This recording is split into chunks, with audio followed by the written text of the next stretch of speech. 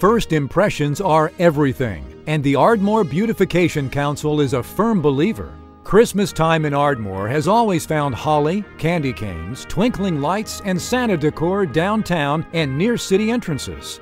This year, the ABC Beautification Committee decided it was way past time to add some decor all year round. The impact of the giant Easter eggs in the spring, scarecrows, autumn leaves, and hay bales in the fall, and American flags and giant firecrackers on the 4th of July goes way beyond the delight it brings to Ardmore citizens. This kind of attention to detail and pride instilling decor creates a strong sense of community, and it's a boost to commerce. Ardmore has become a town for all seasons.